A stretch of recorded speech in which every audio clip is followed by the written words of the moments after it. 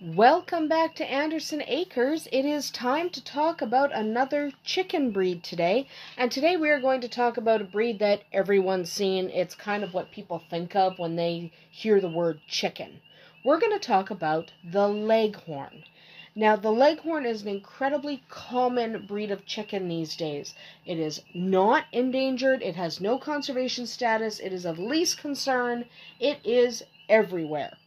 So originally the Leghorn was from Italy. It is a Mediterranean breed and it was brought to the US around 1830. But it didn't make its way to the UK until 1869 or thereabouts. And that's because the Leghorn was brought to the US, it was refined and perfected and then re-exported. Okay? They are the main egg chicken in North America. North Americans really enjoy a nice big white egg, and that's what these leghorns lay. So they are the most common egg chicken, egg layer in North America. Um, unfortunately, most of the leghorns in the US live in small battery cages. Battery cages are horrific, but they are becoming more and more common in backyard flocks, and more and more people are rescuing these birds from battery cage situations. So you might have a rescue in your area that does leghorn rescues. They do uh, the battery hen rescue. And that's definitely something to look into because it can be really satisfying taking those battery hens, rehabbing them, and then you have wonderful chickens laying you eggs every day. So today, the US and the UK do not have the same kind of leghorn. Okay, they are different. If you look at US leghorns, they have bigger combs, they have bigger lobes, they have tighter tails, they're a bigger bird.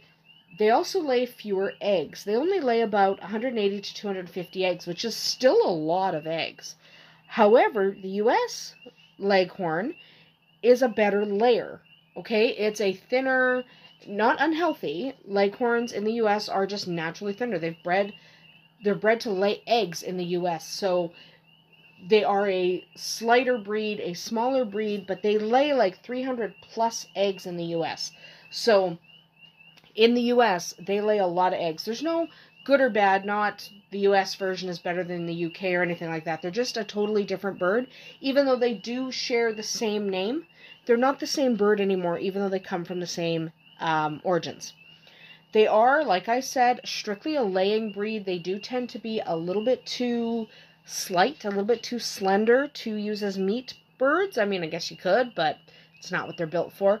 And they lay these beautiful white eggs that everyone really likes. Now, everyone's familiar with the white leghorn. We all see white leghorns and we think of white leghorns. However, those are not the only colors. You can get blacks and blue and brown, buff.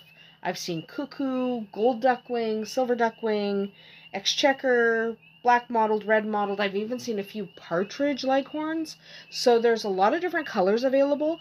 If you're interested in showing your leghorns, just double check with the association governing showing in your area to make sure the color you're interested in is acceptable because some of the colors are considered project colors and therefore they are not accepted in shows yet. So just double check that if you're interested in showing.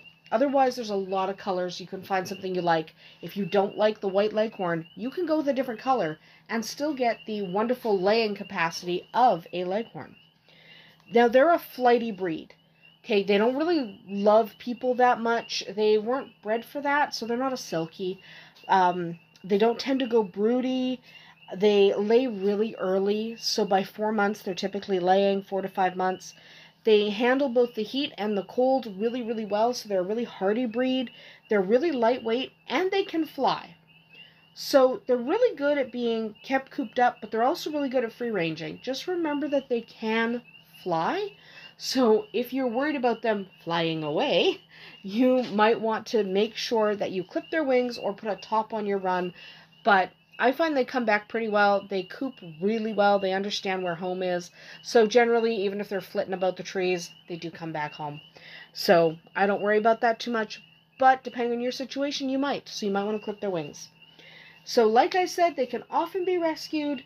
There are, at least in our area, quite a few uh, battery hen rescues that happen throughout the year. So find out if that's available in your area if you're interested in these birds because you might be able to rescue some and they still lay for many years after you rescue them and they look fantastic. They'll look terrible when you rescue them. Fair warning. They'll look horrible. However, they will lay eggs and they will look better after about two to three months of good food and healthy living and access to the outdoors.